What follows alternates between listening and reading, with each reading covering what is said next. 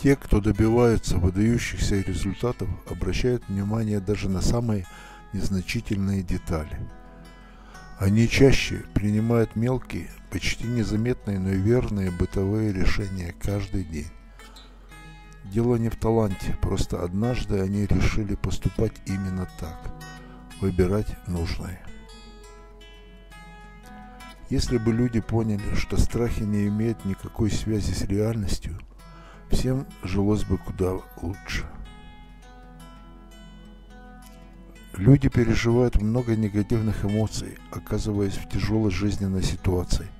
Но если вы посмотрите на свою жизнь со стороны и поймете, что скоро все закончится, это может дать вам мотивацию и мобилизировать вашу силу воли. Момент принятия решений поистине волшебен. Вы решаетесь что-то сделать, коренным образом изменить свою жизнь, и она предстает перед вами в новом свете. Главное правило стратегического мышления гласит, чтобы тщательно проанализировать объект, нужно от него дистанцироваться. Эмоции не дают нам выйти из зоны комфорта, но если вы хотите стать лучше, придется постоянно переступать через себя и покидать ее. Вы и представить не можете, насколько расширится диапазон ваших позитивных эмоций, если вы только найдете силы шагнуть в неизвестность и взять на себя больше ответственности. Любому человеку очень важно найти что-то, к чему он будет стремиться – и за что будет бороться вне зависимости от обстоятельств. После того, как вы поставите перед собой правильную цель, принимать решение будет легко и весело. То, что раньше казалось мучительной обязанностью, превратится в приятное занятие. Если это получилось у других, получится и у вас. Единственная вещь в этом мире, которую вы действительно можете контролировать, это ваши мысли. Если представить путь к цели как череду маленьких шагов, то обнаружится, что каждый шаг относительно прост. Наше представление о возможностях определяется тем, как мы оцениваем ситуацию, что мы видим в ней, испытание или угрозу сосредотачиваемся на перспективе ее исполнения или на неудаче. Эти возможности, некоторые большие, некоторые совсем крошечные, встречаются каждый день. Одни их замечают, другие нет. Кто-то за них хватается, кто-то отталкивает. А что делаете вы?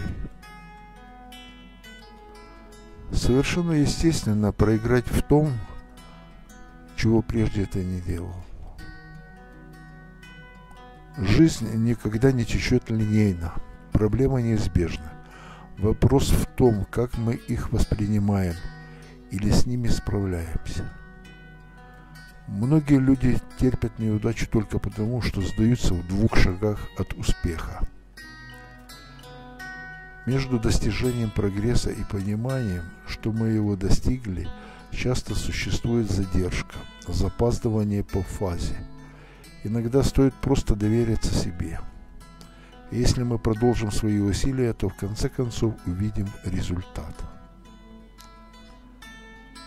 Для многих перемены – это возможность в очередной раз стать новичком. Это то, что нарушает ход жизни, нечто угрожающее. Но ведь переменами можно наслаждаться. Не начав действовать, вы в любом случае потерпите неудачу. Не рискуйте серьезно, не сжигайте мостов, но возьмитесь за что-то, чего вам хочется. И если не преуспеете, что тут страшного? Иногда неудача – лучшее лекарство от стресса. Когда избавитесь от того, что вредит вашей жизни, в ней найдется место для того, что вы любите. Душевная изнуренность хорошо исцеляется творчеством и познанием. Если вы зададите правильный вопрос, то получите верный ответ. Новая идея может быть непонятной, глупой или одновременно глупой и непонятной. Нельзя судить о ней по описанию, ее нужно воплотить.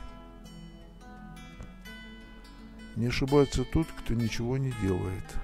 Томас Эдисон сказал, во всех 200 лампочках, которые не работали, было что-то, что я учел в следующей попытке. Занимайтесь своим делом, и тогда вы скорее создадите нечто вечное.